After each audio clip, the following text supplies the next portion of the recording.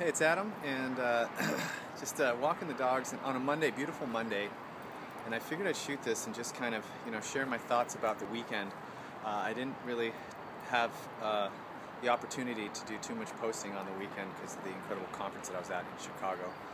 So uh, I figured I'd do that now while I'm while I'm walking my dogs, um, and just, you know, the thing that's on my mind this morning.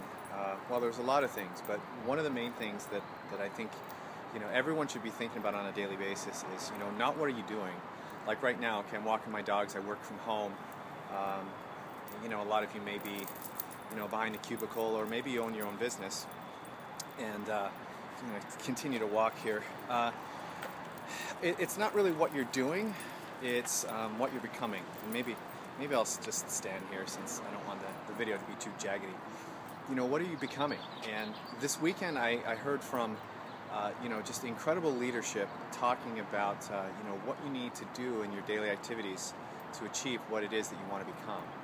And yeah, I mean, we all want money. We all want to be rich or, you know, financially stable where maybe we don't have to answer to somebody, uh, uh you know, on a 40-hour work week or be a slave to a traditional business. I know that because that's, uh, that's my career path of years past is owning a traditional business and being a slave to that business. So, um, you know, it's really what are you becoming, and it start it really starts with uh, you know personal and professional development growth on a daily basis, and really listening to people that you admire, and really looking to create something that is bigger than you are today. So, you know, just ask yourself, what are you becoming today, and look around.